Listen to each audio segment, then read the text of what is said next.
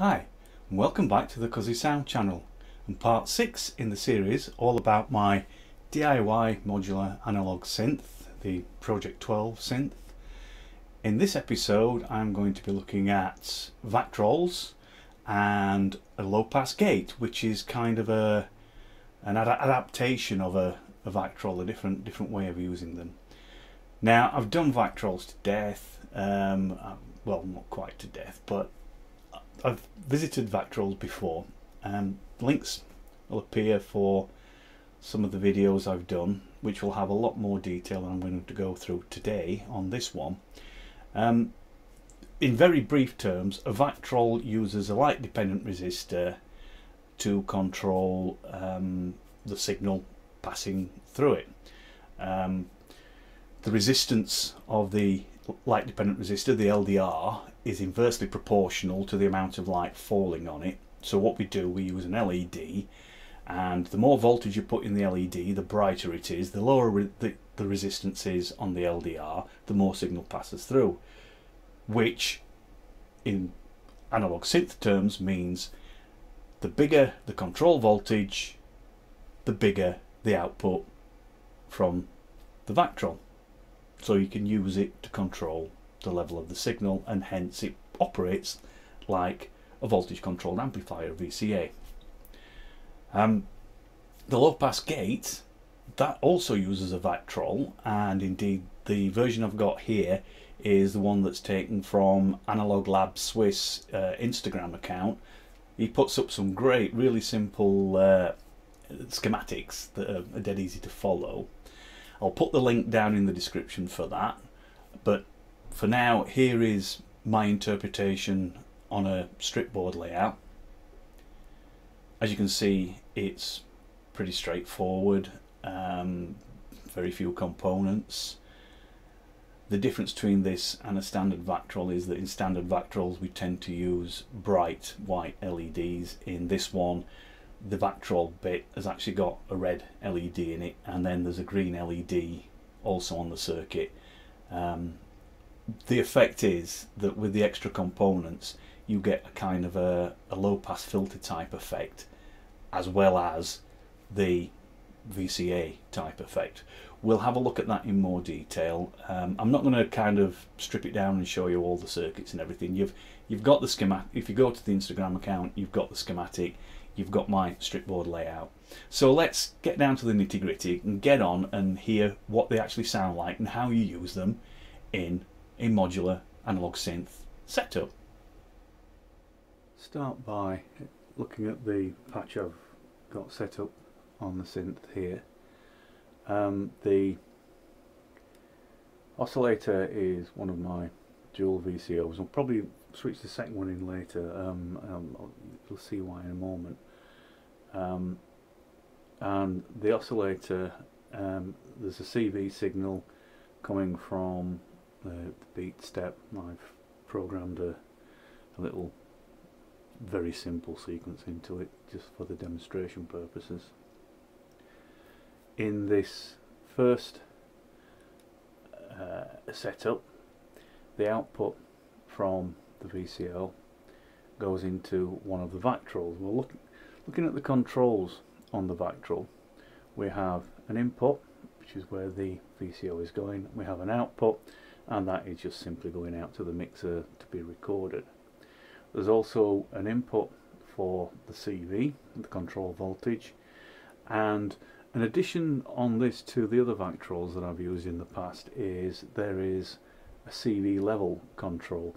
Now this circuit is taken from the modular in a week series.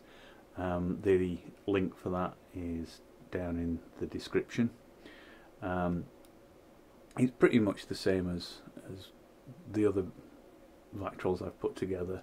The only real difference being that there is this potentiometer on the uh, CV input, which, as you can see, allows you to adjust the the uh, CV level, which can be useful, particularly when you've got a, a system that ha doesn't have a, a a consistent voltage across all of the modules. I mean, these these are all DIY modules from all over the place that um, will chuck out a, whole range of different voltage levels.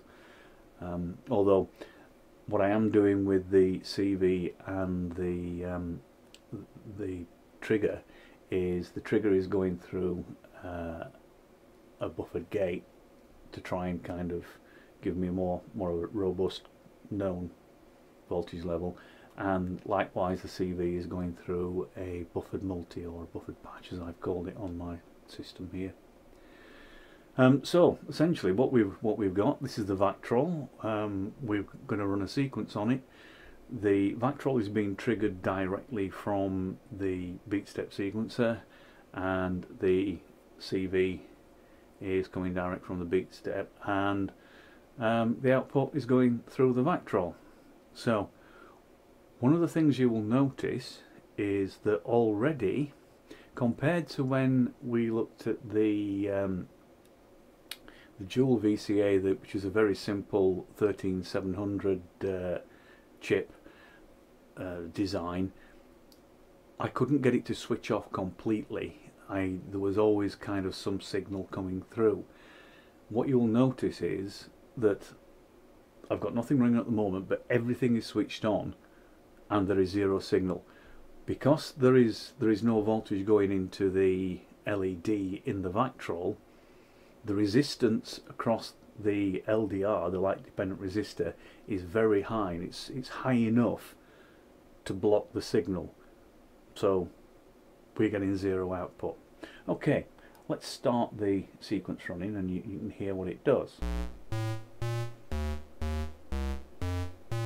I've got the LED there is, is responding to the, uh, the CV input. So the CV input is literally the gate pulse coming out on the BeatStep. As I said, I can I can alter the level of the CV, which doesn't appear to have a great deal of effect.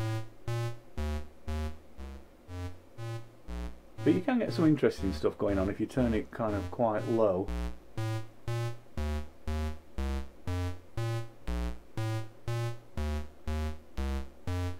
So very very basic. That is that is literally the, if you start and add some more steps in. and you can hear it's got a it's got a reasonably quick response.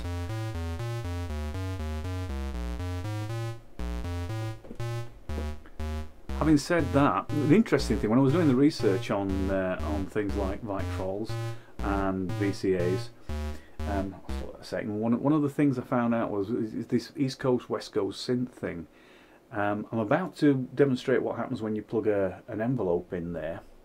Um, so what I'm going to do let's do this and I'll, I'll talk about this while I'm doing it so take the trigger signal from the BeatStep into the envelope and the CV from the envelope back into the CV and the back Vactrol. Now what I was saying is that, that the East Coast, West Coast, on the East Coast they were building voltage controlled amplifiers um, which have a, a, a quite a, a, rapid response Whereas the thing with the Vactrol, because you, you kind of learn to light an LED and then get a response from um, the the light dependent resistor, there's a, a, slower response time than your actual kind of um, solid, you know, the, the, the voltage controlled amplifier, the true amplifier. Um, so what we're finding was that although on the east coast they could put together an ADSR envelope, on the west coast because of the restrictions in the response time on the Vactrols that they were using, they couldn't get all four stages of an ADSR in a short period of time. So they tended to favour a two-stage envelope, which is pretty much what I've got here. I'm, I'm using an attack release envelope on this. Um, and we're going into a West Coast Vactrol, if you like. So let's, let's, I've got, on the envelope, we've got attack and release set to minimum. So, so you can hear now that we've got this very sharp, spiky um, CV signal going into the Vactrol. If I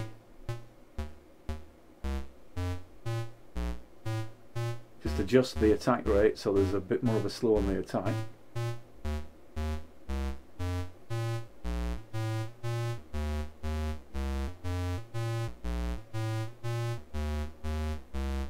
If you take it too slow, it, it, it kind of confuses itself with the steps.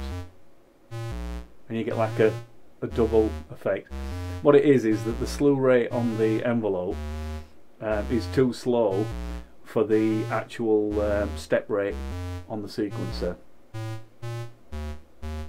Put that back down to minimum. We turn up the release.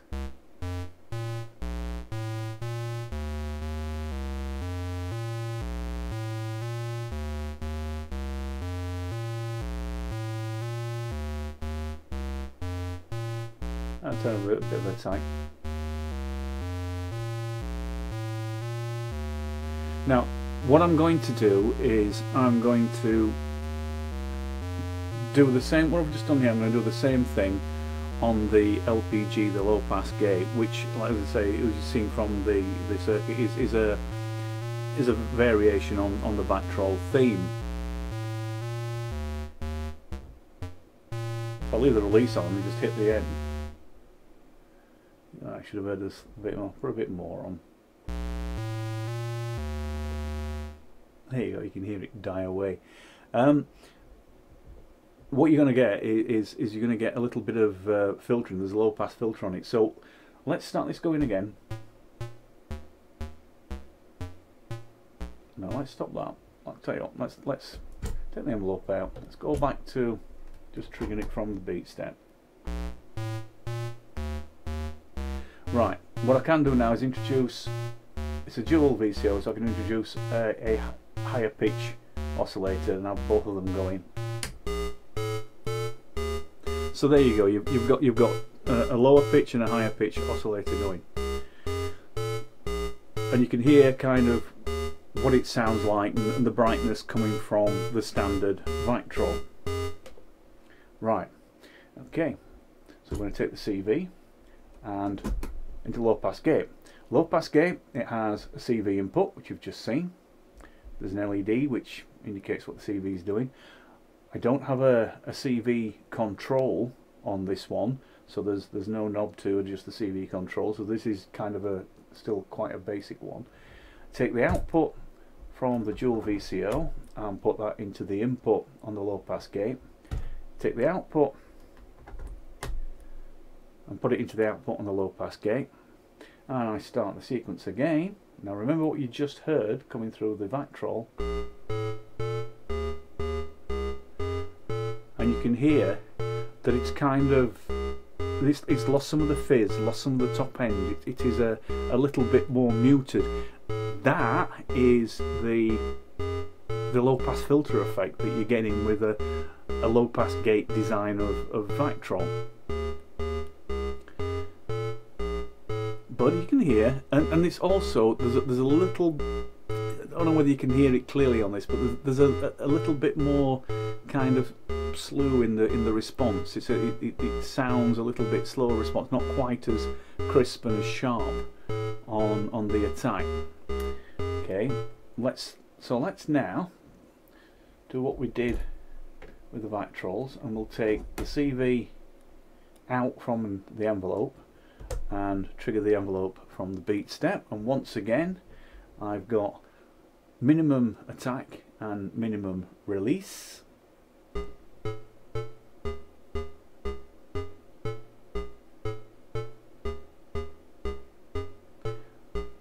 and again it, it's kind of it's, it's lost some of that fizz that we had at the top end when we when we had it just through the Vactrol but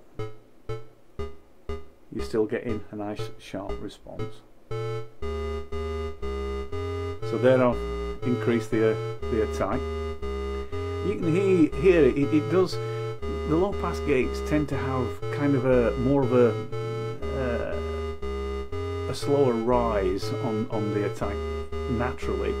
So as you as you slow down the attack on the envelope, it kind of it, it seems to be more more enhanced, more more obvious. That back down, bring up the release. And the fall off from the, the, the low pass filter end of it again it kind of smooths things out it's it's when when I've brought up the the release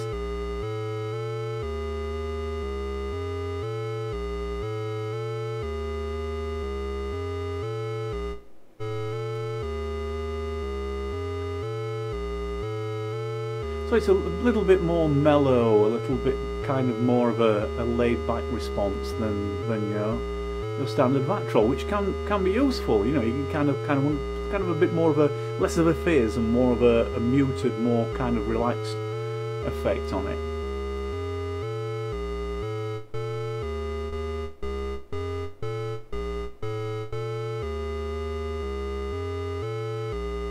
So turning up what I'm doing here, I'm in, put the attack down to minimum and I've turned up up the release. And you should hear when I stop the sequencer now, you should hear uh, the kind of the the filter effect as as the signal dies away.